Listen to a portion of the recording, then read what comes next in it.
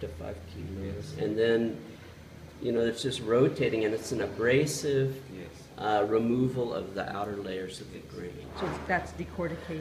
decor- Decorticated, you can call it debranning also. Yes. And then it gets made into flour? Yeah, They wash it, you have to wash it. dry for a little while on this, uh, uh, just for on the dry. So we have a solar dryer behind. Yes. You see, it. And later on they bring it and uh, grind it. This is grinder, That's the, ha- that's a hammer mill. hammer made. Okay. And traditionally, this would all be done by? By uh, hand. By hand, with a Mortar mortar? and, uh, pestle. Yeah, yeah, that's right. The decorticating is done by mortar and pestle, and then just the same way, just similar kind of thing. It removes the outer layer. It's not quite as efficient as this, but then it's, uh, and then it's pounded to flour. That But Is there a, is, isn't there a part where you said they just soak it first? Is it, is this brought up to a moisture content before? Is it tempered? It's just raw. Yes, the grain will, the grain has to be dry. In town they have But I mean equipment. for the decortication. No, it's dry. It's dry. So when do they soak it, you said? No, Oh, like that's, uh, after the decortication, when they finish to decorticate, Yes. they just to get lighter color product. It's to get all the bran part off. They wash it. possible. Yes, they wash it. Yeah, there's still little fine, you know, particles of Okay. bran that are then washed off. Yes. Then dried? Because otherwise Yes, you get, right. um, so if you do this really carefully, like I was saying last night with a really good, like the hybrid that we use, Mad One, Yeah.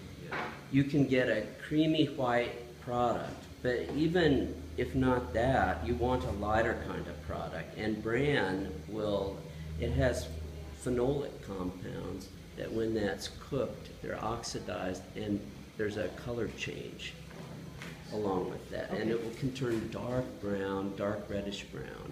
And that makes it undesirable, just less appealing to people? Yeah. But it's not a nutritional problem, is it? No, Or taste? no. Uh, taste, is there a taste Yeah, change? test, with that? yes. Sometimes it may affect the taste. Like some people, if it is not washed, they may say that they feel the brown, the On brown tongue. taste. Yes. On their some tongue. people may not like it. Uh-huh. So usually we just try to see like the, the traditional process they use and it may vary from region to region or country to country because sometimes they just grind directly the Uh-huh. whole grain in some places. They decorticate it first. No, Here some mostly we decorticate, but in some places But they sometimes they do and sometimes they don't. Yeah, mostly, mostly they decorticate traditionally. Yes. Um, but then there's some groups that don't do that. Okay.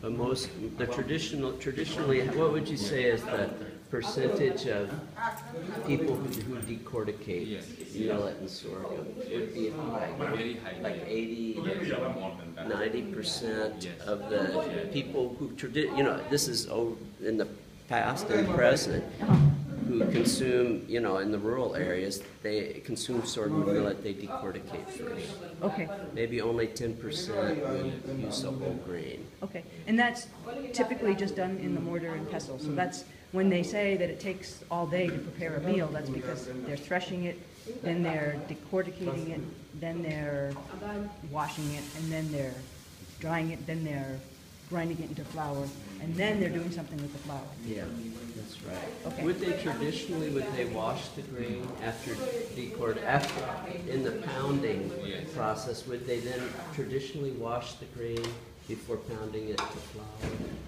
Or is Uh, that just something that you do? Yes, they do it usually They do it also. before doing the